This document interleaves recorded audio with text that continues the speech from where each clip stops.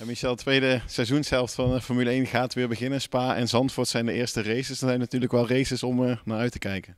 Ja, dat blijft spannend. Uh, omdat Spa natuurlijk een van de mooiste banen is. Uh, dat, dat buiten kijf. En ja, Zandvoort is natuurlijk ons nationale gebeuren. Wat uniek is na 36 jaar. Dus ik kijk er naar uit. Ja. Wat verwacht je van de strijd om de wereldtitel?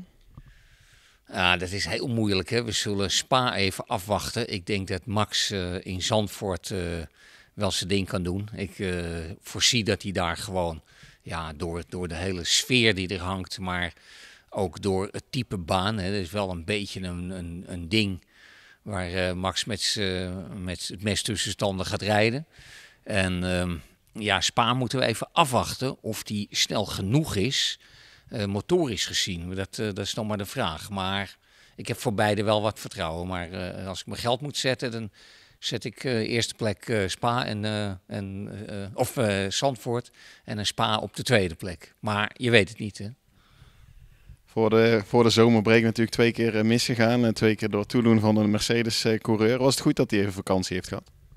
Ja, kijk, dat zijn. Uh, het, uh, we gaan ervan uit dat het geen opzet is, hè, al die dingen. Dus het is een beetje uh, dat het gebeurt.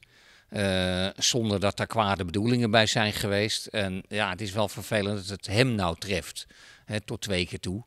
En ja, aan de andere kant, het hoort bij het racen. En we hebben gelukkig veel races. Dus we kunnen nog heel wat inhalen. Japan valt natuurlijk wel af, maar we hebben er altijd nog wel genoeg om toch uh, een beetje te compenseren. Het enge bij Max is natuurlijk nog wel dat hij straks geen motoren ongestraft kan wisselen. En dat is natuurlijk nog maar uh, uh, wel een ding, want ja, dan staat hij ineens niet meer op de eerste rij. Ja, Zandvoort komt eraan. Ja, we hebben net gezien, het is enorm veel veranderd. Je kent het bijna niet meer terug. De baan wel, maar omheen is heel veel veranderd met tribunes. Nee, respect voor de hele groep die op Zandvoort bezig is. Want er zijn heel veel mensen die uh, ja, nog niet echt de affiniteit met uh, racen hebben of hebben gehad in het verleden.